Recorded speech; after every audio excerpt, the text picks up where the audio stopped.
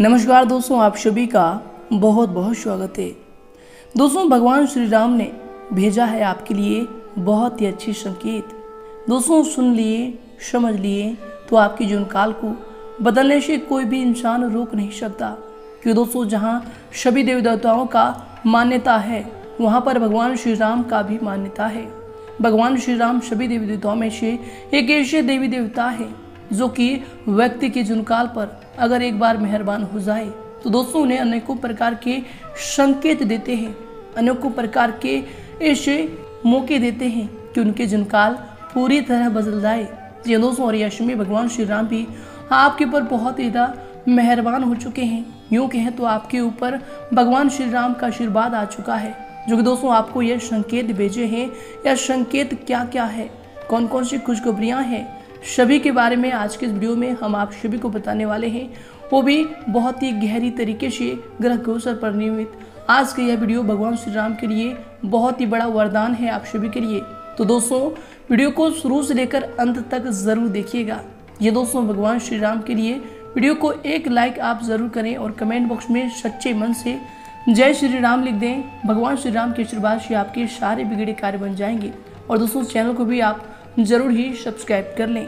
भगवान श्री राम का आशीर्वाद आप सभी को प्राप्त होता रहेगा। जी हाँ दोस्तों दोस्तों हम आप सभी को बता दें कि किसी को अभिमान होता है अपने वैभव के बल का, किसी को अभिमान होता है अपने पद के बल का, और किसी को अभिमान होता है अपने शरीर के बल का, किसी को अभिमान होता है अपने सौंदर्य के बल का, साथ ही किसी को अभिमान होता है अपने परिजनों के बल का।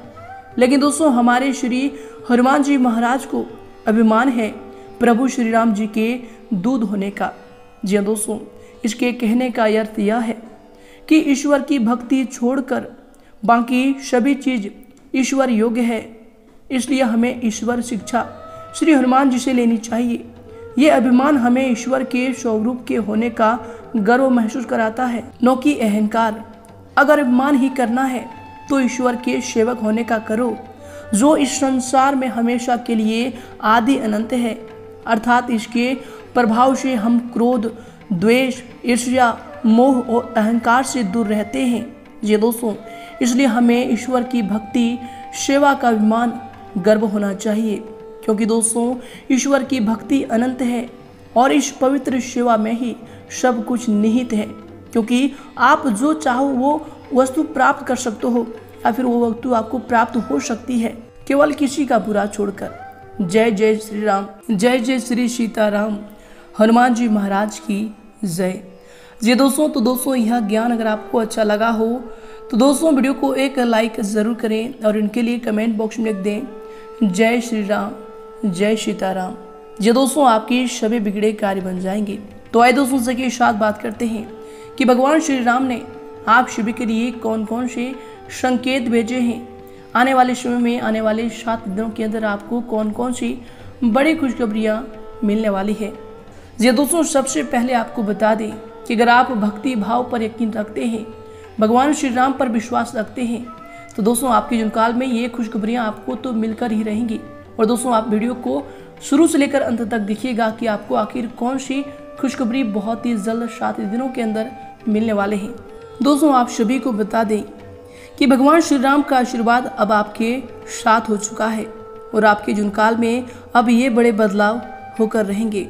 हम आप शुभ बता दें कि दोस्तों आने वाले सात दिनों के अंदर भगवान श्री राम के आशीर्वाद से आप सभी का जो दिन होगा व्यवस्था से भरा रहेगा, क्योंकि यश में आपको बहुत ही ज़्यादा लाभ मिलने वाले हैं और उन कार्यों में आप बहुत ही ज़्यादा व्यस्त होंगे। साथ ही साथ दोस्तों आपको बता दें कि भगवान श्री राम का गुणगान या पूरे सप्ताह में आपको करना है। सामाजिक गतिविधियों में भी आपकी यश में रुचि बढ़ने वाली है। बहुत ही बड़ी अपॉर्चुनिटी यश में आपको भगवान श्री राम के आशीर्वाद से मिलने वाले हैं। घर के नज़दीकी के जो संबंधी है, उनके आगमन से खुशनुमा माहौल भी यश में रह सकता है, क्योंकि बहुत ही बड़ी जश्न आपके घर पर होने वाली है। क्योंकि भगवान श्री राम का आशीर्वाद आप शिव के जुनकाल पर ऐसी होंगे कि खुशखबरियाँ आपके पूरे परिवार को खुश कर देंगे। जी दोस्तों, साथ ही साथ आपको बता दें कि संतान के भविष्य को लेकर फ़ायदेमंद योजनाएँ पर काम भी यश में होगा। दोस्तों, हम आपको बता दें कि बिज़नेस में जो भी व्यक्ति है, यश में उनको बहुत ज़्यादा फ़ायदे मिल सकते हैं। पूरी तरह मेहनत भी आप करते रहें, क्योंकि भगवान श्री राम हमेशा यह बात कहते हैं कि जो भी व्यक्ति अपने आप पर मेहनत करेगा, खुद के भविष्य को बदलने में मेहनत करेगा, मैं उनके साथ हमेशा रहूँगा। जी हाँ दोस्तों, भगवान श्री राम के आशीर्वाद से यश में आपको मार्केटिंग संबंधी कार्यों में भी बहुत ही ज़्यादा लाभ मिलने वाले हैं। ऑफ़िस में दूसरों की गतिविधियों पर आप जो है हस्तक्षेप ना करें। दोस्तों, ये आपके लिए बहुत ही ज़्यादा कारगर सिद्ध होंगी। शादी साथ दोस्तों, आपको बता दें कि आने वाले समय में नए कामों की योजनाएँ भी बनेगी। उन पर काम करने के लिए कुछ लोगों की मदद भी लेनी पड़ेगी, जो कि दोस्तों लोग आपको मदद भी करेंगे, क्योंकि उनके मस्त मस्तिष्क में आपके लिए कोई भी बुराइयाँ नहीं होंगी। वरना दोस्तों, आपके आस पड़ोसी के लोग ऐसे हैं कि आप खुद ही जानते हैं। कभी भी आपको देखना पसंद नहीं करते। जब भी आप उनसे कोई मदद लेने जाएँगे तो दोस्तों वो हाँ तो कर देंगे, पर मौके आने पर फीट दिखाकर चल देंगे। लेकिन दोस्तों, ऑफ़िस के कार्यों में आपके साथ ऐसा नहीं होगा। भगवान श्री राम के आशीर्वाद से जीवन बहुत ही अच्छा यश में व्यतीत होने वाले हैं। बहुत ही अच्छा कार्य आप सभी का बनने वाले हैं। यश में आत्मविश्लेषण द्वारा स्वयं की व्यक्तित्व में और अधिक निखार लाने का आप प्रयास करें। स्थान परिवर्तन की संभावना भी प्रबल होंगी। साथ ही साथ दोस्तों, हम आप सभी को यह बात बता दें कि भगवान श्री राम के आशीर्वाद से आप सभी के जीवन काल में किसी महत्वपूर्ण कार्य करने की जो उपस्थिति है, वह बढ़ सकती है। कार्य में आपको बहुत ही ज़्यादा लाभ की संभावनाएँ बन रही है। शायद दोस्तों, आपको बता दें कोई नया अगर कार्य कर रहे हैं तो दोस्तों, यश में पारिवारिक सदस्यों की सलाह आप अवश्य लें, क्योंकि दोस्तों, बड़े बुज़ुर्गों का सलाह, भगवान का सलाह के बराबर है। तो दोस्तों, ज़रूर यश में आप इन पर ध्यान दें। पिछले कुछ समय से चले आ रहे जो तनाव हैं, यश में खत्म होंगे। संतान के करियर संबंधी कोई सूचना भी आपको मिल सकती है, जिनसे आपका घर में खुशियों भरा वातावरण भी रहने वाले हैं। साथ ही साथ दोस्तों, आपको बता दें कि बहुत ही जल्द आप शिव के जुन काल में इनकम के लिहाज से जो समय है, बहुत ही अच्छा गति से आगे बढ़ने वाले हैं। आप अपनी सोच या फिर बुद्धिमत्ता से हर समस्या का हल प्राप्त कर लेंगे और उनमें सक्षम भी रहेंगे, क्योंकि यश में भगवान श्री राम आपके साथ रहने वाले हैं। क्योंकि उनका आशीर्वाद आपके जुनकाल में चमत्कार के रूप में कार्य करेगा। हर बिगड़े कार्य भी आपके बन जाएँगे। किसी संत या फिर अपने गुरु के सानिध्य में रहना आपको मानसिक शांति प्रदान करेगा। साथ साथ दोस्तों, यश में आप भगवान श्री राम के चरणों में भी अवश्य जाएँ। आपके लिए बहुत ही ज़्यादा लाभकारी समय साबित होंगे। बच्चे भी यश में आपके आज्ञाकारी बनेंगे, आपके बात को मानेंगे, जो भी आप उन्हें कहेंगे, वे स्वीकार करेंगे। रिश्तेदारों अथवा पड़ोसियों के साथ चल रही गलत फहमियाँ यश में दूर होने वाली है। दोस्तों मैं आप शुरू को बता दें कि आप हर काम को व्यवस्थित तरीके से पूरा करने की कोशिश करेंगे और यश में आप कामयाब भी रहेंगे।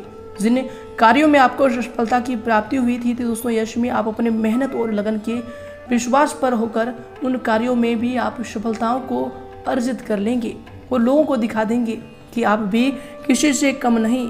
परंतु दोस्तों, हम आपसे बता दें कि कभी भी अपने सफलताओं पर घमंड ना करें। क्यों दोस्तों, ये भगवान का आहार होता है, घमंड किसी के ऊपर भी ना करें। हम आपको बता दें कि समय आपके पक्ष में यश में होने वाले हैं। पूरे मनयोग से अपने लक्ष्य के प्रति समर्पित रहें। आर्थिक स्थिति आपकी यश में सशक्त बनेगी।